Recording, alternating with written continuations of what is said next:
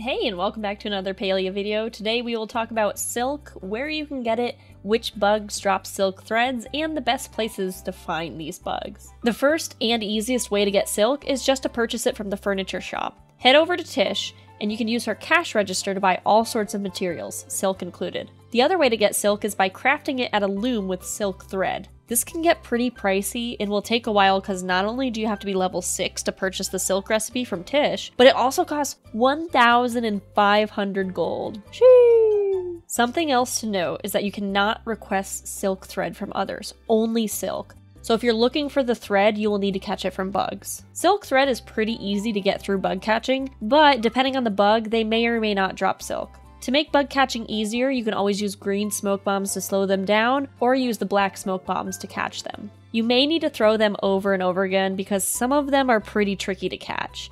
Don't worry, even if you're low level in bug catching, you can still catch rare bugs. It just takes a little bit of patience. The first and easiest bug to catch is the fire breathing dragonfly. Check out the northwest territory near the ruins that Jina hangs out by. There you'll find red dragonflies that provide a silk and are there all day and night. The second bug that's good to find silk threads in is the ones that are under rocks when you break while you're mining. These little guys are trickier because you have to swap your tool from a pickaxe to a smoke bomb and you don't always expect them to pop out. After catching them, they do have a chance to drop the silk thread. If you ever see rare or epic bugs, particularly in Bahari Bay, definitely take the time to catch those. They have a higher percent chance of thread, but they also drop more thread than usual. A few examples are the bright eye butterfly that drops 5 and rainbow butterflies that can drop up to 9. If you've caught any specific bugs that drop thread, be sure to share in the comments. I hope you found this helpful and if you want more tips and trick videos, check out the ones on the screen. Thank you so much for watching, stay safe, stay happy, and I'll see you on the next one. Bye!